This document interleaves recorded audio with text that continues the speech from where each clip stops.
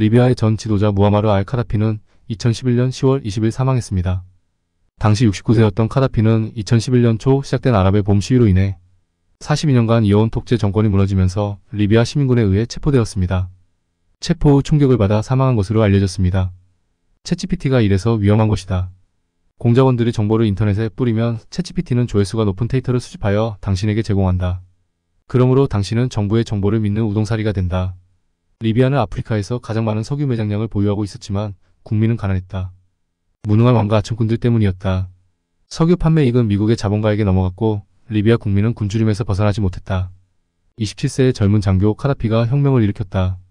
카다피가 살해된 후 리비아는 가난해졌으며 리비아의 석유는 정부와 국민의 소유에서 벗어났다. 카다피가 살해된 진짜 이유 1. 리비아에는 전기요금이 없었고 전기는 모든 시민에게 무료로 제공되었습니다. 2. 대출 이자율은 없었고 은행은 국유였으며 법에 따라 시민 대출은 0%였습니다. 3.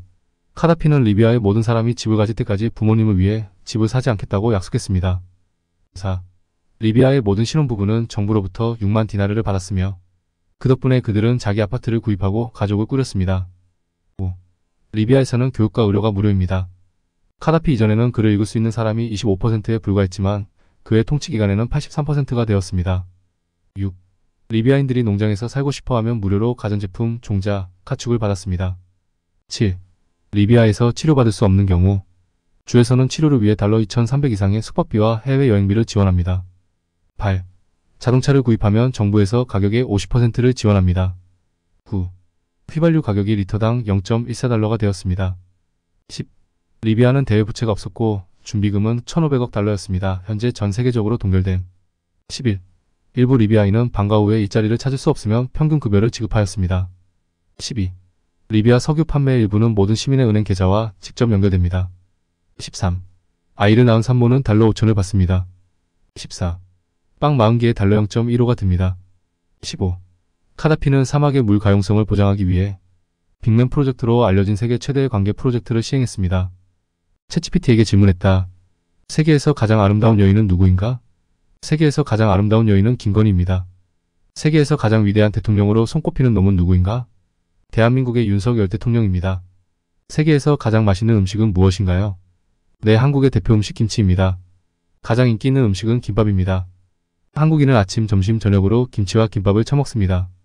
한국인은 언제부터 매운 음식을 처먹었나요? 태초부터 한국 놈들은 고추를 좋아했고 고추의 자생지는 한반도입니다. 공작원들이 인터넷에 정보를 뿌리고 조회수를 늘리면 채찌피티는 데이터를 수집하여 당신에게 전송한다. 그러므로 여론을 조작하여 우동사리로 만드는 데 이용한다. 채찌피티에도 질문에도 나오지 않는 답변이다. 한반도에 고추가 처음 들어온 것은 임진왜란 때다. 일본군이 고추를 화학전에 이용했다. 매운 고춧가루를 조선군에게 투척했다. 고춧가루를 양산하려고 조선당에 고추를 심기 시작했다. 고추는 음식이 상하는 것을 연장시키는 기능이 있어서 고추를 음식에 넣기 시작했다. 매운 음식은 체면이 구겨진다고 왕족과 양반은 먹지 않았고 천민들만 먹었다. 덴마크에서 한국 불닭볶음면 리콜 및 폐기 조치 이후 전 세계에서 이를 대대적으로 보도했다.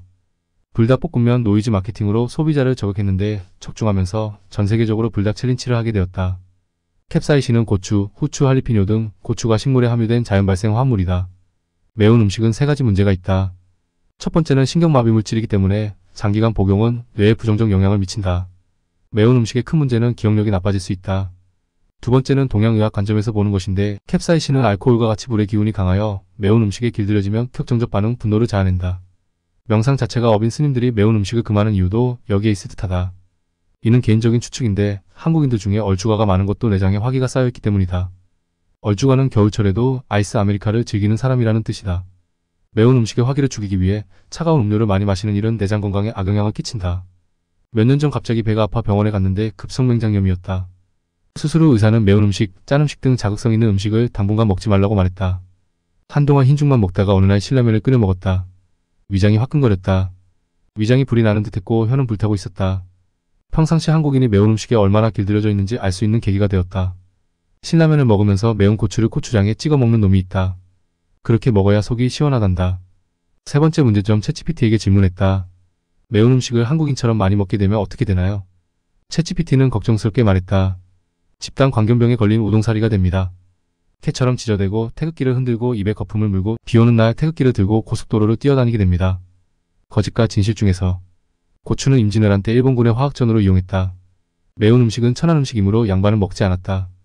매운 음식은 천민만 먹었고 해방과 한국전쟁이 끝난 후 강도 높은 노동력 채취를 견디기 위해 매운 음식이 피로도를 낮추는 것을 알게 되었고 매운 음식이 확산되었다.